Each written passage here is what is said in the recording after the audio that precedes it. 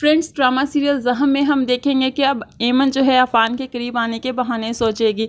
वो बार बार ऐसी गलत फहमियाँ पैदा करेगी कि अरीज अब अफान से खुद ही बदजन होकर उसे छोड़ जाए। वो जानबूझ के अफ़ान का हाथ पकड़ती है और कहती है कि अफ़ान, मेरी वजह से तुम्हें बहुत ज़्यादा दुख मिले हैं।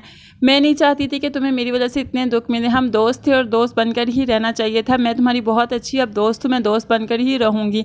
ये सब कुछ अरीज जो है, वो सुन तो नहीं पाती, लेकिन उन दोनों के हाथ पकड़े हुए देख लेती है और बहुत बुरा फील करती है।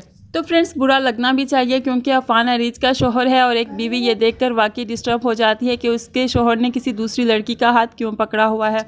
दूसरी तरफ़ हम देखें तो फ्रेंड्स सिकंदर को पता चल गया है कि अरीज अपने घर में आ गई है तो वो कैसे सुकून से बैठ सकता है? वो अरीज को फ़ोन करता है और कहता है कि तुम घर वापस आ गई हो। तुम जानती नहीं कि मैं इसका भाई हूँ तो अरीज कहती, मैं सब कुछ जानती हूँ तुम्हारा इस घर में क्या रिश्ता है और सब तुम्हें क्या समझते हैं? इसलिए बेहतर है कि तुम अपनी औकात में रहो। इस बात पर सिकंदर को बहुत गुस्सा आ जाता है। कहता है, बात तो तुम अपनी भूल गई हो तुम्हें। मैंने बहुत ज़्यादा सर पे चढ़ा रखा है, इसलिए तुम इस तरह से बोलती हो। अरीज कहती हाँ जी, तुम्हारी औकात तो मैं कल रात से टीवी पर देख रही हूँ, क्या करते फिरते हो और तुम बाकी सब लड़कियों के साथ भी ऐसे हो, तुम्हारा तो काम ही यही है, तुम एक घटिया तरीन इंसान हो। इस पर सिकंदर को बहुत गुस्सा आता है, वो चीज़ें उठा उठा कर फेंकने लगता है। फ्रेंड्स, आगे इस ड्रामे में क्या होगा देखने के लिए मेरे चैनल को ज़रूर सब्सक्राइब कर लें, ताकि जब भी मैं कोई वीडियो अपलोड करूँ तो आपसे कभी भी मिस ना हो, और आप हमेशा मेरे साथ जुड़े रहें। आमीन। अल्लाह हाफिज़।